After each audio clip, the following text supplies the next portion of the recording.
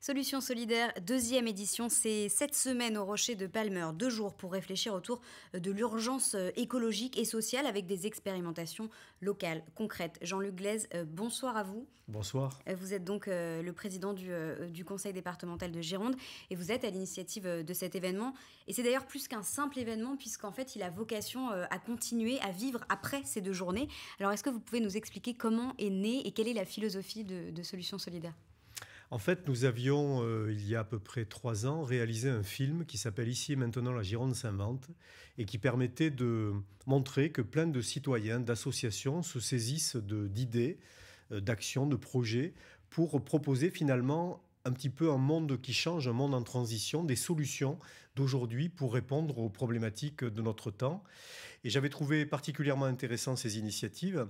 Et du coup, l'idée a été de dire, créons un événement une fois par an, ainsi qu'une plateforme numérique pour faire en sorte que ces solutions soient connues du plus grand nombre et puissent ensuite se, se dupliquer éventuellement euh, en Gironde ou ailleurs. Alors on voit qu'il y en a, qu'il y en a beaucoup, hein, parce qu'on en a vu beaucoup euh, lors de la première édition. Il y en a encore beaucoup qui vont être euh, présentés demain. Finalement, ce que vous dites, c'est que c'est, cet événement, c'est un moyen de parler de l'interdépendance entre l'action publique et les actions citoyennes. Oui, je crois de plus en plus que euh, nous ne sommes pas seuls à pouvoir euh, décider comment le monde va se construire euh, demain. Et je pense que la plupart des, citoyens qui nous entourent ont la capacité à dire aussi qu'est-ce qu'ils envisagent, qu'est-ce qu'ils souhaiteraient, à proposer des solutions que nous pouvons financer ou que nous pouvons simplement accompagner et faire connaître. Et donc l'idée, c'était véritablement de mettre en avant ces initiatives, sans forcément que ce soit des initiatives départementales, mais vraiment des initiatives citoyennes. la notion d'urgence est particulièrement présente dans cette deuxième édition. Pourquoi? Elle est présente parce que je crois que le monde évolue très vite sur le plan de la, de la société, sur le plan du climat bien évidemment, et que nous avons euh, impérativement à prendre des mesures aujourd'hui, à trouver de nouvelles actions, de nouvelles solutions, et que justement, euh, dans le cadre de ces initiatives, bon nombre de personnes sont en train de démontrer qu'il est possible de vivre autrement, plus sobrement, de façon plus respectueuse par rapport à l'environnement. Et donc je crois que nous avons à promouvoir ces actions-là parce qu'il y a urgence aujourd'hui. Mmh. Alors on, a dit, hein, il y a beaucoup euh, d'expérimentations, d'actions qui vont être euh, présenté euh, mercredi et jeudi. Est-ce que vous pouvez euh, nous, nous, en citer quelques-unes qui vous ont marqué ou que vous attendez avec impatience? Alors en fait, il y a plusieurs thématiques que nous avons retenues. La thématique des transitions, par exemple. Euh, lorsque vous avez le SMICVAL, qui est un syndicat de, traitement et de collecte d'ordures ménagères, qui a créé une véritable économie autour des déchets aujourd'hui dans le Libournais, eh bien c'est un exemple d'action vertueuse qui va, à mon avis, euh, pouvoir porter, y compris au niveau national, voire international.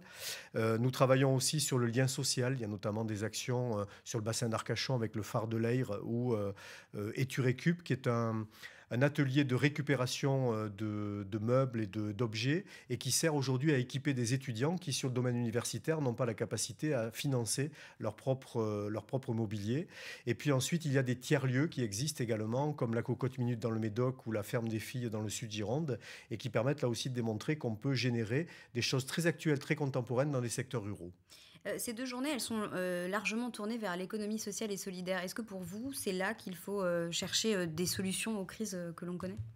Je crois en tout cas que c'est une forme de réponse alternative et complémentaire à l'économie classique, et notamment au secteur rural. Ce que je vois aujourd'hui, ce sont bon nombre de secteurs ruraux qui s'enrichissent de nouveaux arrivants, de nouvelles arrivantes, qui apportent justement des solutions qui relèvent de l'économie sociale et solidaire, des associations, des coopératives. Et donc je crois que c'est une forme de réponse aujourd'hui aux besoins, notamment dans les secteurs ruraux où les entreprises industrielles ne s'installent euh, quasiment pas. Et donc là, par contre, c'est une manière de créer de l'activité, de l'emploi dans ces secteurs. Alors on l'a dit, on va beaucoup parler euh, d'urgence sociale et écologique euh, pendant ces deux jours.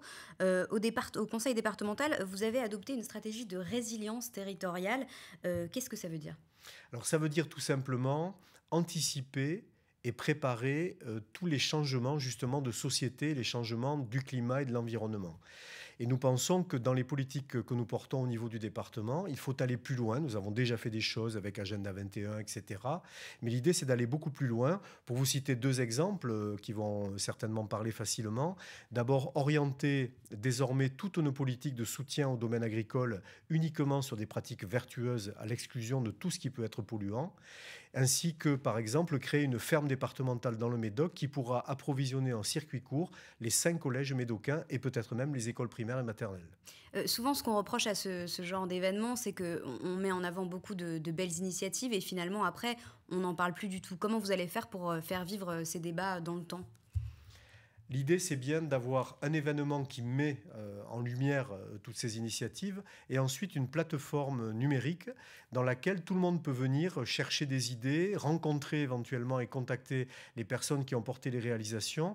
Donc c'est bien quelque chose qui s'inscrit dans le temps, alors qui va se développer progressivement. Nous sommes à la deuxième édition. Elle va donc s'enrichir, euh, enrichir la première et par la suite, nous espérons évidemment continuer pour faire en sorte que ces solutions solidaires soient de plus en plus nombreuses et connues. C'est un moyen aussi euh, pour vous euh, d'aborder des thématiques qui vous sont chères, euh, par exemple le revenu de, de, base avec cette table ronde jeudi, comment être acteur des transitions sociales et écologiques. C'est des problématiques auxquels vous intéressez particulièrement? Oui, ça fait partie effectivement des, sujets que nous portons, que nous avons portés au département, qui entrent en résonance aussi avec l'actualité nationale, puisque le président de la République a décidé de lancer une concertation sur un revenu universel d'activité. Ce sont donc bien des sujets de société, et ce qui nous importe justement, c'est d'être en prise avec le temps présent et avec les sujets euh, qui font l'actualité. Donc euh, euh, ce revenu de base, évidemment, fait écho à cette actualité nationale. Quel bilan vous avez tiré de la première édition de Solutions Solidaires? D'abord un bilan intéressant en matière de fréquentation, puisque nous avions à peu près un millier de personnes qui étaient venues, et ensuite euh, une vraie émulsion, une vraie dynamique autour des initiatives qui ont été présentées, avec un retour très positif, non seulement sur le plan girondin, mais aussi sur le plan national, puisque nous avons bon nombre de départements qui viendront témoigner aussi des actions qu'ils mettent en œuvre. Donc c'est l'idée de de, créer une sorte de catalyseur autour des bonnes solutions et des, bonnes idées. Et l'an dernier, je trouve que le, la première édition avait déjà bien répondu à cet objectif-là. C'est ouvert à tous, n'importe qui peut, peut, venir au Rocher de Palmer. Comment ça se passe si on veut y assister à ces, à ces débats? Alors c'est surtout ouvert à tous. L'idée, c'est que chacun puisse venir découvrir ce qui se fait parfois tout près de chez soi, parce que souvent les, les initiatives sont méconnues, y compris ici en Gironde, et puis découvrir aussi ce qui se fait ailleurs, éventuellement s'en inspirer. Donc il ne faut pas hésiter, il faut venir au Rocher de Palmer et ils pourront euh, toutes les personnes pourront bien évidemment euh, partager ce moment, voire même peut-être contribuer et, intervenir. Merci beaucoup Jean-Luc Glaise. On rappelle donc que vous êtes le président du conseil départemental de la Gironde. Euh, Solutions solidaires, c'est donc mercredi et jeudi au Rocher de Palmer. Vous restez avec nous sur TV7. On se retrouve dans un instant pour un nouveau journal.